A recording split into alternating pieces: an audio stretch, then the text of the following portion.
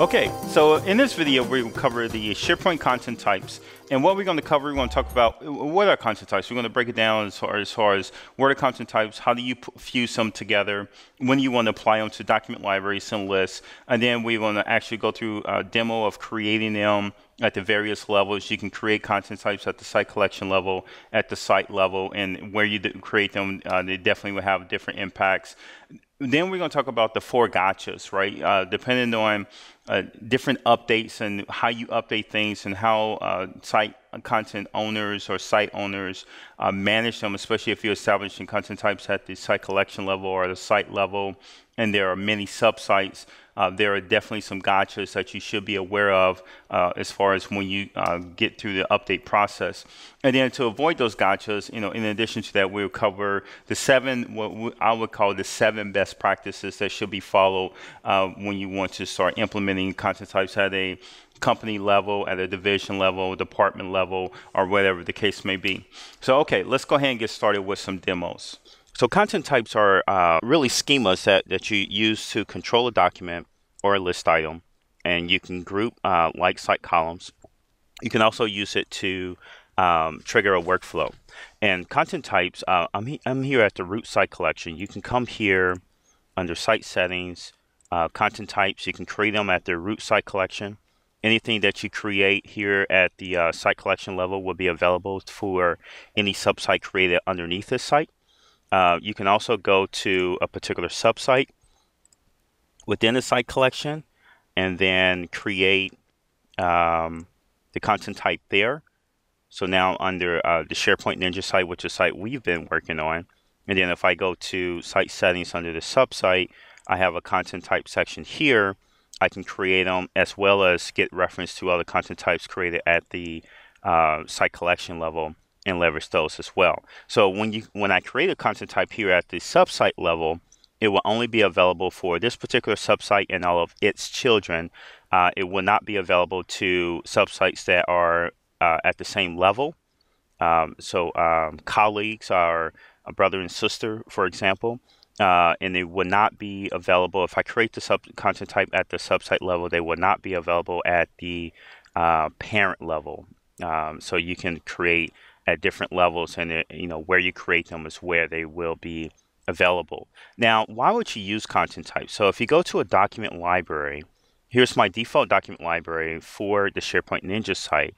And by default, uh, content types are not enabled. Um, you are given for every library or list are created, you're given a out of the box content type for that particular list or library. And, and the content type depends on the type of list or library you create.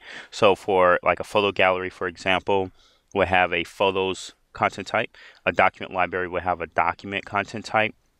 A task list has a out of the box task content type.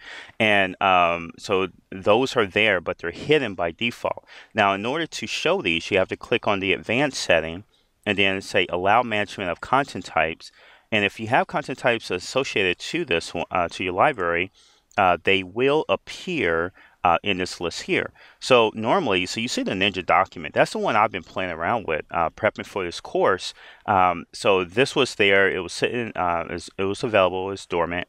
Uh, but the document one is the one that you may see uh, out, out of the box because this is going to be the default content type for each and every um, document library. So um, as you can see here, you can have multiple content types uh, within the same document library. Uh, and from a user perspective, when they le- try to leverage these and they click on new, you will see the various options of the content types appear here.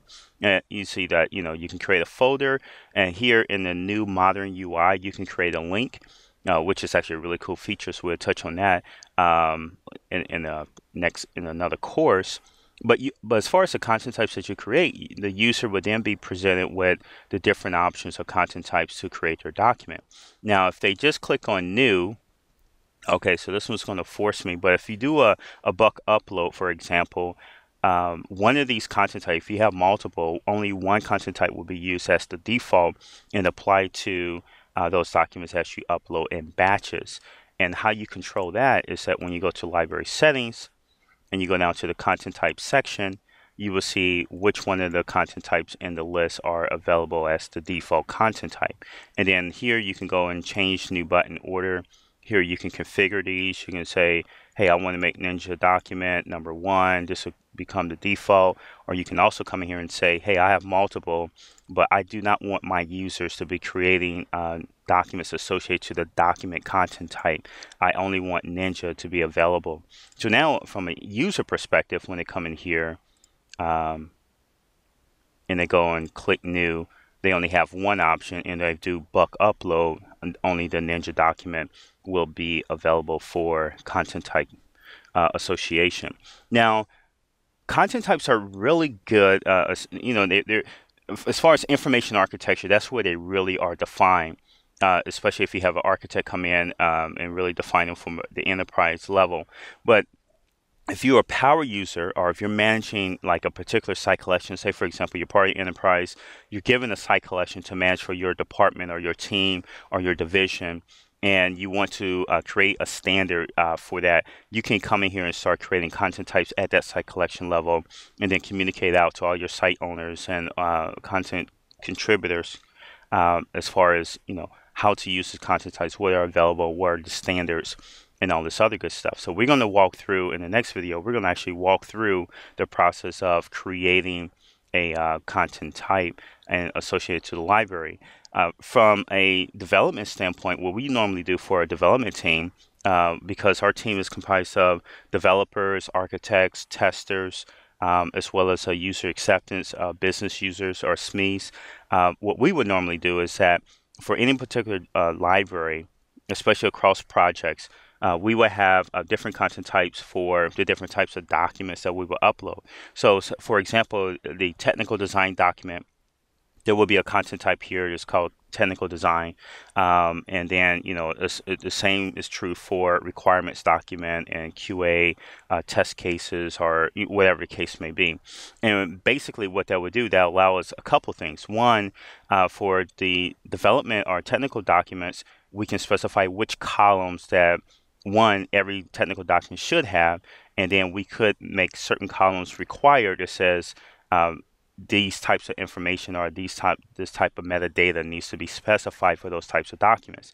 Um, is in the, in the second piece to another good way to leverage content types is that you can type the document, uh, meaning that like in search now, uh, say for example, what do, what do we call this one? Uh, Ninja document in search, I can come up here and say content type, and this is all out of the box, equal to, and I'm to put this in quotes because my content type has a space in it, Ninja document. And basically, content type equals Ninja document. How come that's not working? Do I not have, let me just try document. I'm sure I have content types associated to Ninja document, right? All right, so this is the one is document. Let me go back. How come Ninja document did not work? Uh, maybe I do not have one associated to it. But anyway, so uh, we'll go into details. So if you have a content type uh, associated to Ninja document, uh, I'm going to save this one off here, you know, you can see it's associated now, uh, but I have to wait until the uh, search index gets updated with this change. And then if I execute that query, and basically all it is, the query is content type, no space, right? Uh, it's not case sensitive. I have to put it in quotes only because my content type name has a space in it, right? And then I execute this search. And once the, the index gets updated, any any document associated to Ninja doc, uh, content type will appear. And right now, I'm only searching this uh, within the SharePoint Ninjas. But if this was my uh, content type for the site collection, I can say search everything. Right, I can change the scope of this to everything, and then execute the search. And then, regardless of what subsite um, the document lives for, you know, within a, a library or you know how many of those across you know depending on what the scope is for the search result or result source it would pick up those findings which is very very uh, nifty tool and then you can really leverage search to uh, define documents and you can select refiners and all this other good stuff. So that's another video that we're going to get into when we uh, actually talk about search and how to leverage a lot of the out of the box features.